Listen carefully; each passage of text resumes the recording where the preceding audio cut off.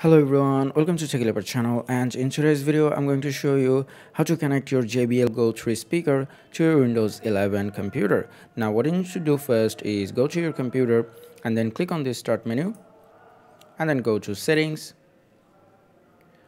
Now from the left click on Bluetooth and devices.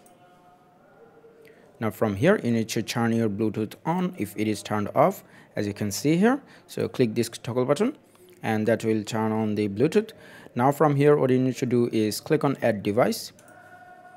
Now after that take your speaker and turn it on by pressing the power button once.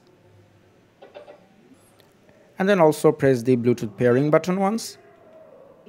Now go to your computer again and then click on the first option which is Bluetooth. And as you can see here it just found the JBL Go 3 and then click on it once it is connecting and it is connected. And that's it for today. I hope this video was helpful. If it was please give it a thumbs up and i'll see you guys in the next one